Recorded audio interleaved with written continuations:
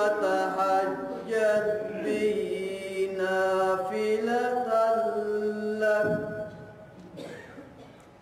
أسأل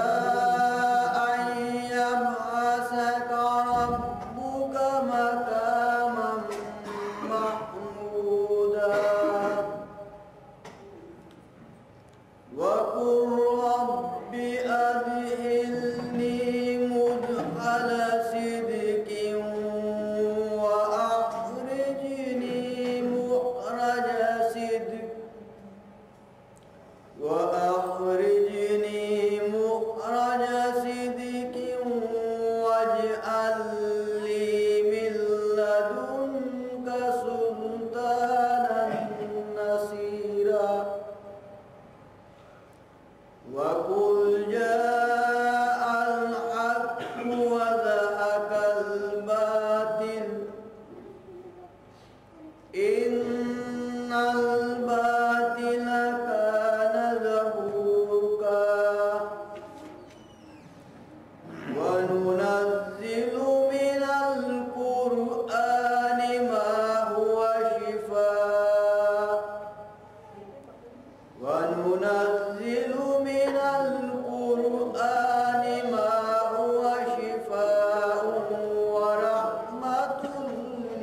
العالمين.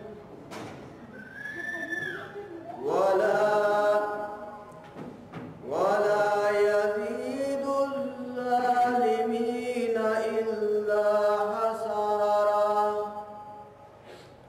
وإذا أنأمنا على الإنسان أعرض وناء بجانبه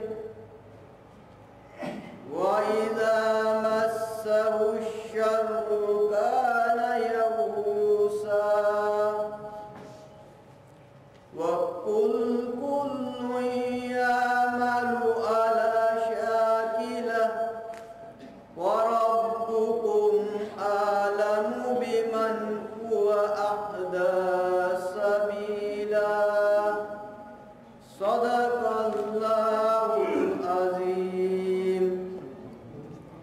سورج کے ڈرنے سے شروع کر کے رات کے اندھیرے تک نماز کو قائم رکھ اور صبح کے قرآن کو بھی، صبح کے قرآن میں حضور ہوتا ہے۔ اور رات کے کچھ حصے میں اس قرآن کے ساتھ جاگتا ہے۔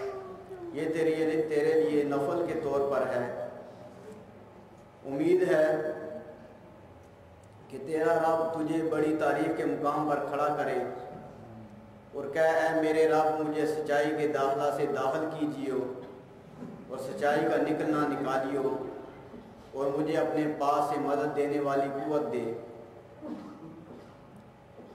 اور کہہ، حق حق حق آ گیا اور باطل بھاگ گیا۔ باطل بھاگنے والا ہی تھا۔ اور ہم قرآن سے وہ کچھ اتارتے ہیں۔ جو مومنوں کے لیے شفا و رحمت ہے۔ اور ظالموں کو یہ صرف نقصان میں بڑھاتا ہے۔